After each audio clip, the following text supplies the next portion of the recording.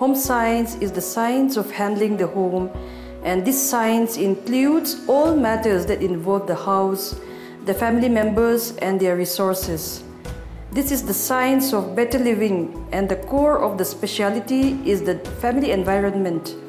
The study of home science includes various things to manage the home in a proper and organized manner.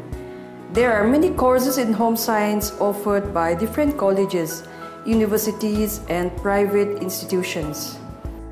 There are various job opportunities after pursuing a course in home science, such as fashion, teaching, social work, development studies, dietetics, food industry, home management, etc. The graduate in home science also has the option of self-employment. Studies after BSc Home Science are MSc Food Technology, MSc Clinical Psychology, MSc Home Science in different disciplines like Human Development, Food and Nutrition, Clothing and Textiles, Family Resource Management and also MSc Nutrition and Dietetics.